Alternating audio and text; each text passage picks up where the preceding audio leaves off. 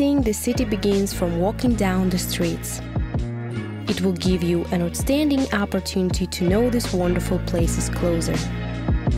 Take a seat, be in the moment, bring a book, drink a cup of coffee in the small restaurants nearby.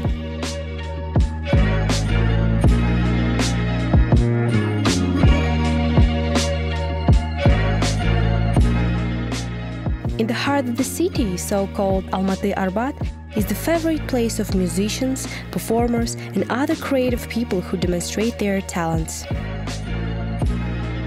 Do not miss the chance to highlight your trip by walk. Let the Intercontinental Concierge show you the right direction.